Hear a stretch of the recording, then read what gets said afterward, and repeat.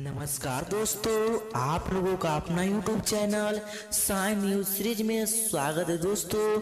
इन दिनों खेसारी लाल यादव काफ़ी मसीहा बन के उतर रहे हैं और काफ़ी सुर्खियों में दोस्तों, हालाँकि ऐसा कोई बात नहीं है जो खेसारी लाल यादव इसी तरह से काफ़ी मतलब पहले से ही कोई भी गरीब परिजनों को बाढ़ हो, भूकंप हो, कुछ भी प्रॉब्लम हो, वहाँ पे खेसारी लाल यादव ज़रूरी मसीहा बन के पहुँच पड़ते हैं क्योंकि इन्होंने अपने गरीबी को झेले हैं। इनसे वैसा फीलिंग बर्दाश्त नहीं हो पाता है।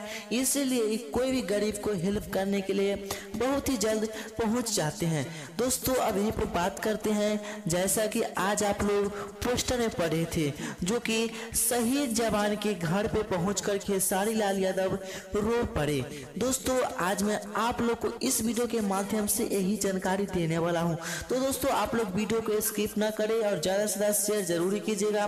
तो दोस्तों, चलिए बात करते हैं शहीद सिपाही सिपाही यानी शहीद सिपाही चंदन कुमार के छाया चित्र में श्रद्धांजलि अर्पित करते हुए खेसारी लाल यादव ने आए। यहीं पे बात करते हैं जो कि चीन बॉर्डर पे शहीद, ज्ञानपुर आरा के शहीद सिपाही चंदन कुमार के परिजनों से मुलाकात करके उनके परिजनों से बात किए और उनके हर दुख में साथ रहने का वचन दिया खेसारी लाल यादव। दोस्तों, जब खेसारी लाल यादव वहाँ पे पहुँचे तो चंदन कुमार के जो मम्मी जी हैं, वह रो पड़े खेसारी लाल यादव को हाथ धर के।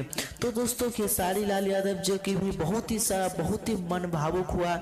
जैसा कि आप लोग स्क्रीन पे फ़ोटो देख रहे हैं, जो कि रोने रोने टाइप करके खेसारी लाल यादव जी का फीलिंग अंदर से महसूस हो चुका था, जैसा कि आप लोग फेस का इम्प्रेशन देख रहे हैं। तो दोस्तों, इसी तरह से हमारे बिहार के लाल सुपरस्टार खेसारी लाल यादव, हर एक कलाकार परिजनों को मदद करने के लिए पहुँच रहे तो प्लीज़ आप लोग के लिए, इनके, आप लोग को इनके मन में कैसा भाग जागरूकता आता होगा प्लीज़ नीचे कमेंट सेक्शन में ज़रूर बताइएगा। और दोस्तों, आप लोग कमेंट में बताइए प्लीज़ खेसारी लाल यादव का गाना, फ़िल्म आप लोगों को कैसा लगता है?